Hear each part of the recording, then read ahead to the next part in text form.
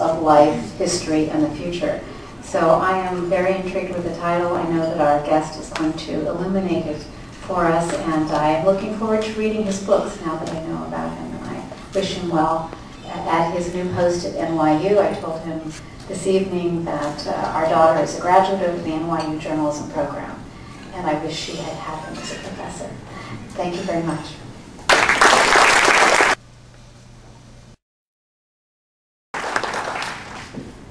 It is always a great pleasure to introduce uh, the founding donor of the, of the center, who has been with us in all of our formative stage, uh, Uka Solanki, Mrs. Solanki, and there are other members of the Solanki family here that are always glad to see.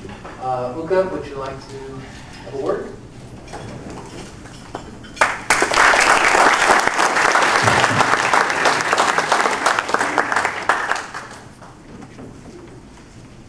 Good evening, everybody. Uh, this is a great opportunity that we to hear today the real Bombay story, what is real Bombay is. I know some of passed through there, but some of don't know where the Bombay and what it look like. And uh, our today's uh, speaker will uh, tell us about the Bombay. Uh, also, the Yadunandan Center is mainly to do the cultural and uh, relationship and uh, general information about the both countries to each other countries.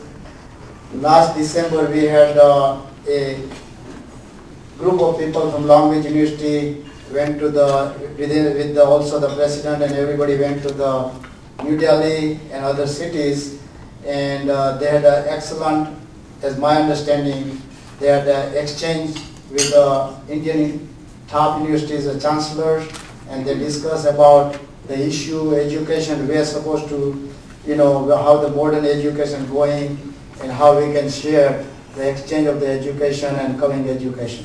So thank you very much coming today and uh, hope you all enjoyed. Thanks.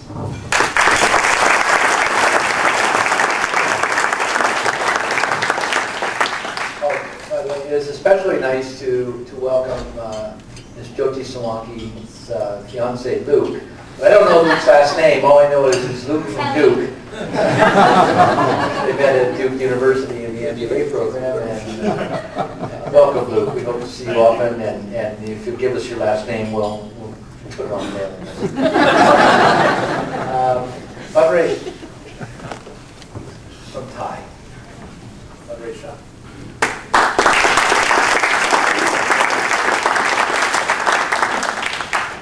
Thank you, Dr. Uh, good evening to everybody.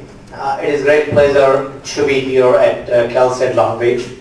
Uh, as uh, Dr. Kaminsky said, my name is Vidray Shah and I represent uh, the CHAI Institute today.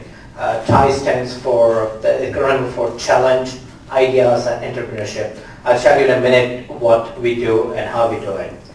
Uh, CHAI as an organization always looks for the opportunity for the event and organization where we can become uh, part of uh, the sort of the event where it supports uh, as well as has footprints of uh, Indian culture. We, we look for that opportunity.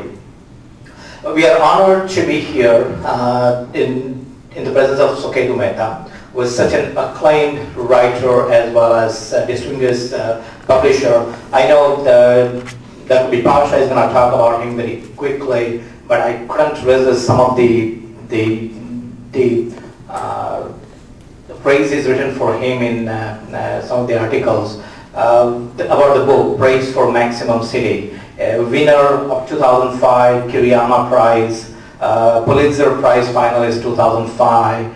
Uh, chosen as one of the best books of 2004 by Library Journal, chosen as book of the year for 2004 by The Economist, so on and so, so and so forth. Uh, uh, I'd like to take, so we, we join all of you in welcoming uh, Suketu Mehta uh, to CSULB. Uh, I would like to take this opportunity to thank, first of all, the Yadunandan Center for Indian Studies, center obviously which increases the visibility among Indian scholars about Indian culture, uh, Indian people, Indian heritage, and Indian history. Uh, I might add, this is the, the first of a kind institution in California. Uh, second, I would like to thank Dr. Arnold Kaminsky, who is the director of the Yadunandan Center for Indian Studies. Uh, he's a recipient, those who don't know, is a recipient of the William G. Carr Memorial Award, one of the highest honors awarded by the National Education Association.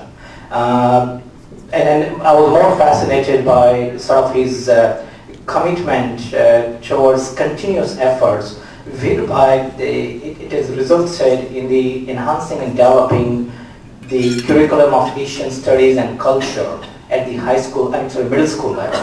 Uh, he serves on a number of, uh, I guess, uh, boards of regional and national professional organizations.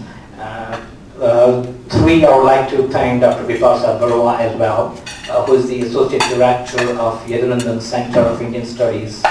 and last but not least, Mrs. Nalini Solanki and Mr. Uka Solanki, the core foundation of this center has been the result of generous and thoughtful endowment of uh, uh, them for half a million dollars.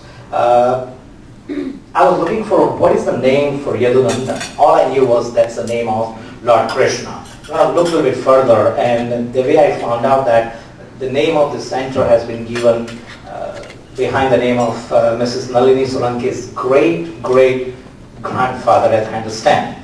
And as also I, I understand that uh, his leadership and uh, advocacy for education was sort of exemplary in those days in India. Uh, so that's where the Yadunandan name is coming from. Uh, so we, we like to thank uh, all of them that I mentioned uh, in, in just a few, few seconds ago. Now I'd like to tell you what we do at CHAI, what CHAI is about. Uh, CHAI is a global non-profit network of entrepreneurs, executives, business owners, and professionals, which is dedicated to fostering entrepreneurship globally. The roots of uh, CHAI are in 1992 in Silicon Valley. Uh, as I understand, there were 10 business owners. They were supposed to meet with some Indian, Indian government delegation and this somehow Indian delegation was late or they, they had some uh, issue coming there. So they started, they started talking about themselves and they, before you know, this CHAI organization was started. Uh, the name was given CHAI as Dr. said, the Indus Entrepreneur. And now we are calling it the Challenge, Ideas and Entrepreneurship. Uh, today CHAI has over 1600 chapters. Uh, among about uh, 40, uh, I'm sorry, 600 chart, I'll back. We have 45 chapters in 10 different countries.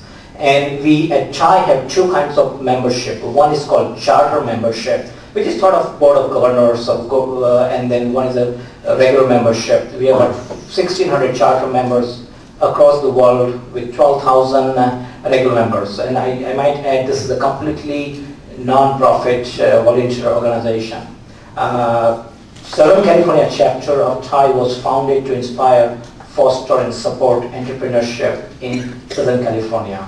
Members of CHAI and non-members alike find tremendous value in educational, networking and partnership opportunities available throughout uh, through the CHAI platform.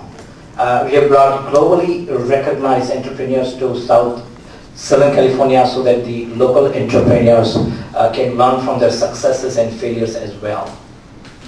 We hold regular events throughout the year uh, at uh, two places, one at UCI and UCLA. We alternate between uh, those two places. The third, third, third Wednesday of the month, we have uh, various uh, mixers going on, just networking purpose. we also have annual conferences and one is coming up on September 15th uh, in Anaheim area.